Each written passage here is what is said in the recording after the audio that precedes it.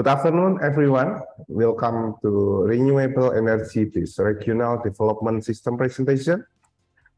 Today, Group 4 will present about forecasting energy demand of Papua 2020 until 2040 using LEAP software. Group 4, time is yours. Thank you, Mr. Arif Darmawan as moderator. Okay, Assalamualaikum warahmatullahi wabarakatuh. Good afternoon, everybody. The Honorable Mr. Ahmad Agus Setiawan, PhD, and the Excellencies, my colleagues. Thanks to Allah because of blessings, we can attend here in a good condition. Today, we will deliver our presentation entitled Forecasting Energy Demand of Papua Province through 2020 until 2040 modeling using LEAP. Before we start, let me introduce myself and my partner. My name is Maulana Rizal Purwanto. Today, I will explain introduction and methodology. After that, my partner, Irdaflan Muhammad Yahya, will deliver result of energy projection. And then Miss Khalifatun Nisa Amini will deliver crucial factors and conclusion. Okay, let's start. Access to energy is a basic need very important to support development. The existence of access to energy service will determine level of economic, social, educational, and even health in an area. Various kinds of policy outlined by the government, both at the national and provincial level, in order to achieve national energy security, both in the form of primary and secondary. Next, nationally, Indonesia has begun to seek the development of renewable energy, although still not optimal. Currently, renewable energy generation capacity, national capacity is 5,521 megawatt or equivalent to 12.29% of the total capacity national power generation in 2012. Hydropower plant or PLTA and geothermal power plants or PLTP are the largest type of renewable energy power plant and the share of geothermal power plant will continue to increase in line with existing national energy policy. So, if there are any question about why Papua province, there are two reasons. Firstly, energy access in Papua province is still very limited. Electrification ratio still at the level of 34.6% far below the national average, which reached 76.6%. The main factor causing the low electrification, ratio is a geographical condition that makes it difficult development of an integrated electrical system. And then develop deployment condition, also resources renewable energy for electricity generation. Secondly, beside the low electrification ratio in Papua province, another challenge in energy utilization is dependence on fossil energy source, especially fuel oil or BBM. More of 90% use in this province comes from outside the region, including LPG. So we can see on the screen that consumption of kerosene is very dominant in household and commercial sectors. For electricity generation, most of the existing electrical system and isolated system also scatter still use BBM or LPG, where availability is limited and high fuel costs lead to low reliability power supply. So this is our methodology using software leap. Firstly, we define problem analysis. After that, we are doing literature review. After, liter after literature review, we are collecting data from BPS, PLN statistic, also PDRB. After that, we planning three scenario. First is business as usual. Second, net zero emission. And third, uh, based on ROET. After three scenario, we are simulation. We are doing simulation on LEAP. After that, we are doing analysis energy projection, and then uh, N. Okay, this is our result from group four. Will be delivered uh, from Mr. Irdafan Muhammad Yahya. Time and screen is yours. Okay, thank you, Mr. Rizal. Uh, in our screen, we can see uh, the total customer, household, industry, business, social, government, and public state lightning. Uh, in this data, on the number of household, business, social government, public state lightning in the province of Papua from 2017 and 2021. The data was obtained from the BPS Papua province. The number of people per household is obtained from the comparison between the total population people and the number of households in the same year. Next. And uh, the graphically, uh, based on the result of the project number of customer in the forecasting period 2020 for 2040, household customer are the largest of our sector, then followed by business, public, and industrial customers.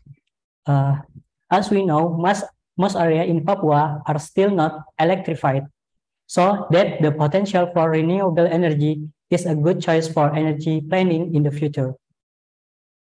Next. And then uh, the scenario from energy demand final units, uh, business as usual, uh, energy scenario are the outline of strategic energy planning. In this opportunity, the scenario divided to three type of scenario, called business as usual, and then second, sustain development atau RUED, Rancam Umum Energi Daerah, and last, uh, net zero emission. In business as usual scenario, the current electricity generation plant in Papua province were, were supplied by diesel, gas, machine, steam gas, hydropower, and solar energy. This scenario based on the RUPTL 2021 for 2013 generation policy. Next. Okay in this uh, result, uh, three scenario, second scenario, business as usual, uh, ABT non-fossil, and RUID. Leap calculated the three scenario of the energy planning, business as usual, scenario RUED, and the zero emission.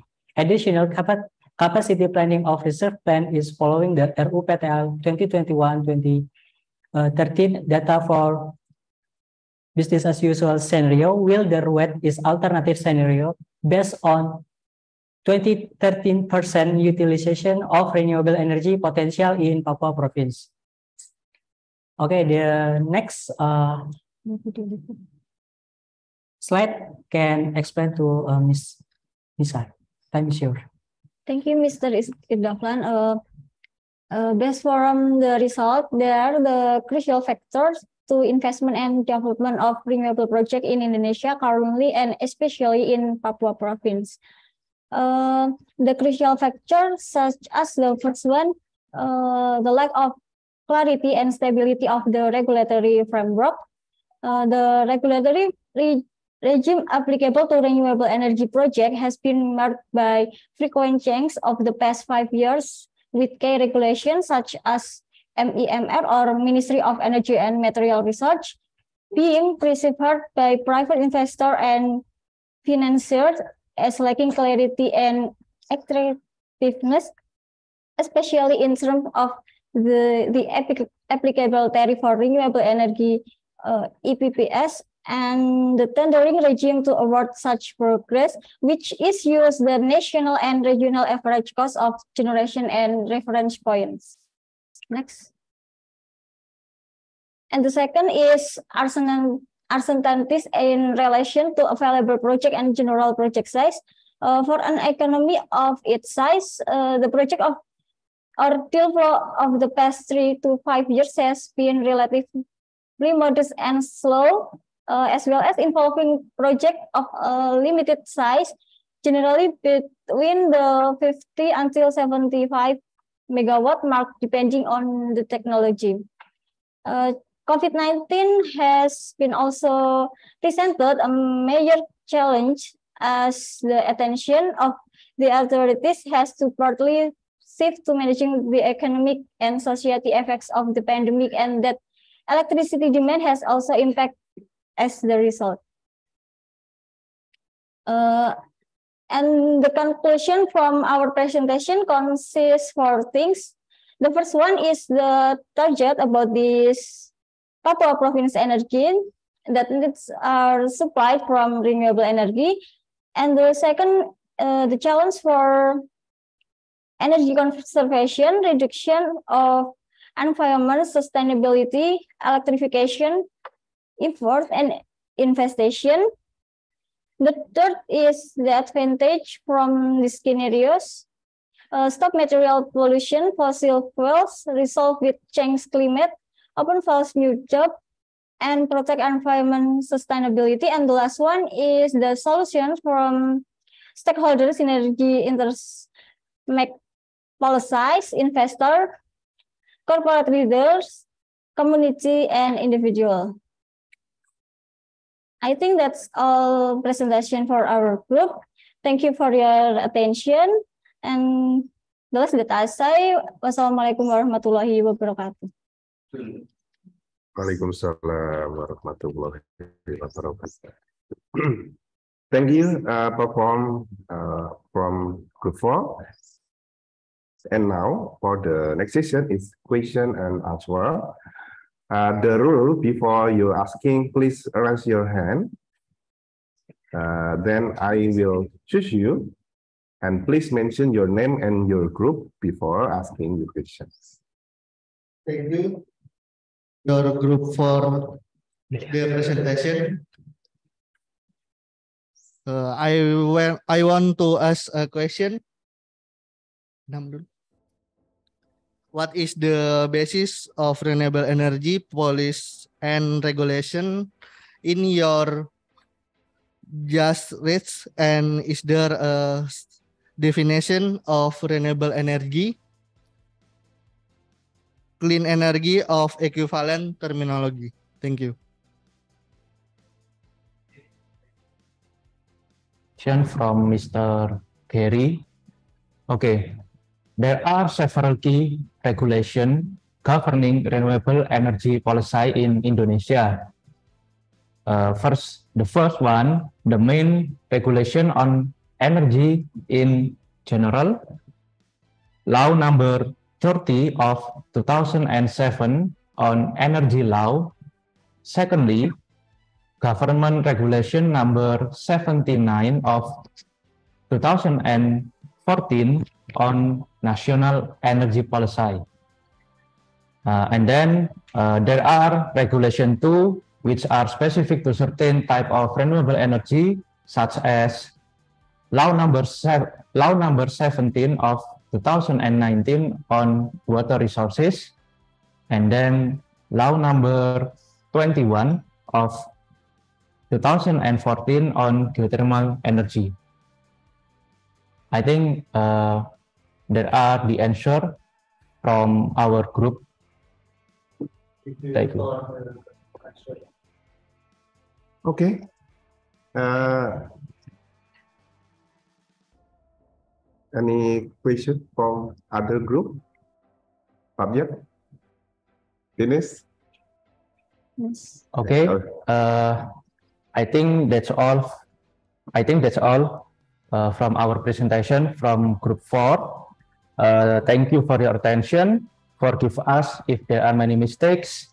Uh, see you next time. Wassalamualaikum warahmatullahi wabarakatuh. Waalaikumsalam warahmatullahi wabarakatuh.